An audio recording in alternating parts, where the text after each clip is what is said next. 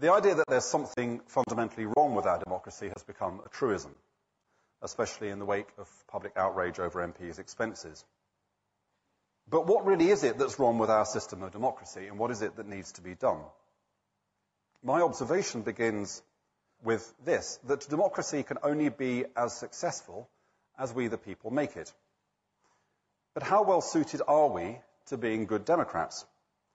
We've come over recent years to understand more about the idiosyncrasies of our mental processes. Some of these appear to compromise our ability to make wise and fair democratic judgments. We are, for example, a bit confused about the medium and the long term.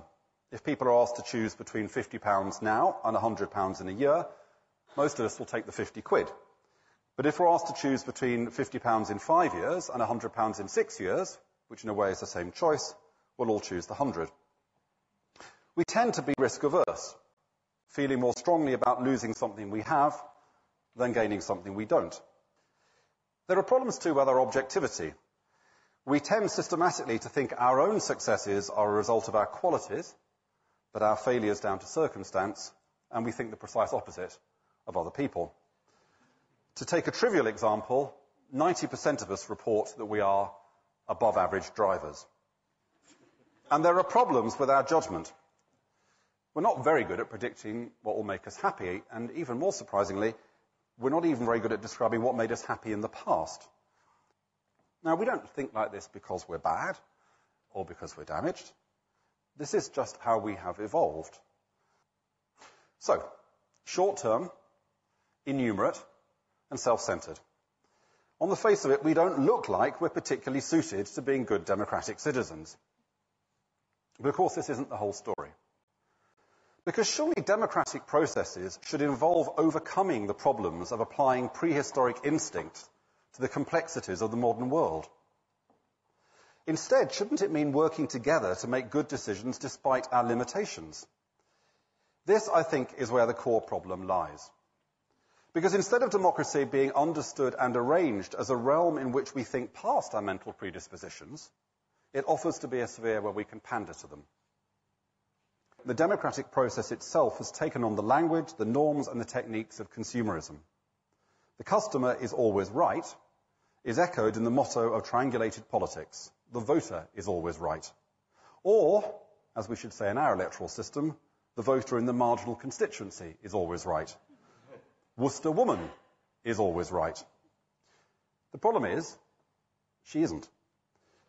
Take these findings. Most of us think more power should be devolved to the local level. An even bigger majority say that public service standards should be exactly the same everywhere.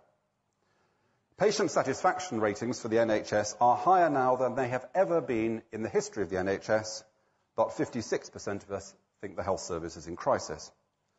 We agree that we need to change our lives to counter global warming, but admit we have no plans to do so ourselves. Now, it's hard enough, I know, because I used to work in Downing Street, it's hard enough for politics to reconcile different interests and preferences in society. But now, a combination of the complexity of modern life and consumerist expectations mean that politicians face the challenge of reconciling conflicting interests and preferences in the same people. And generally, it's a challenge that they duck. So, if we wanted people to see democracy as inherently about dilemmas and trade offs, about balancing interests within people, within society, and across time, what are the kinds of things we might do? First, devolve more power, because it's easier at the local level for people to relate to issues and see trade offs, and to appreciate how their own behaviour shapes those trade offs. Second, every year the government should hold at least two high profile national citizens' juries on major policy questions, and with the government committed either to implementing the recommendations or explaining why not. And third, require all policy advice to ministers to be published in full. Every policy has disadvantages, and it's about time politicians came clean about this. Now, lest you're worried at my inconsistency, I freely admit that there are probably downsides to those three proposals. My point is this. The problem with our democracy is not as we often think about the performance of politicians, nor even the workings of our constitution, but it's about the content of the democratic conversation. Proper processes of democratic deliberation in which we either participate directly or which we can acknowledge as legitimate would help us to be less petulant, wiser, and more responsible taskmasters for our beleaguered representatives. So these are some of the practical ways we might encourage people to be better citizens. But what could new thinking about human nature mean for our broader view of society? One of the most powerful concepts in modern sociology is that of reflexivity, developed and popularized by the author of The Third Way, Anthony Giddens. Putting it simply, this is the idea that modern citizens do not see themselves as mere objects of impersonal religious, national, or class forces, but as subjects of their own lives, each with their own individual story. Giddens talks about moving from class politics to life politics.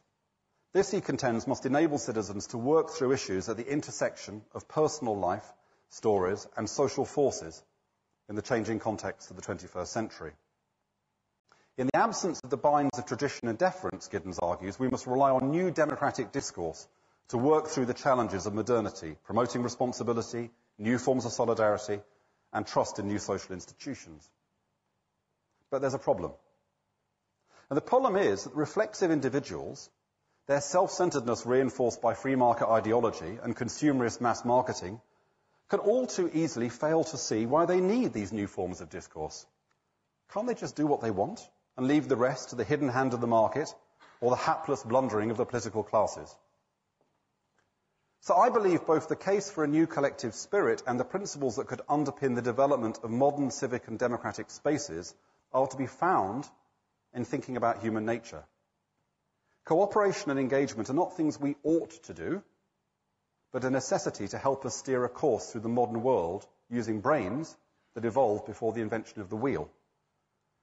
We became the social animals we are, subsisting in closed, homogeneous communities with deeply respected and very slowly evolving bodies of knowledge and culture, our first 200,000 years.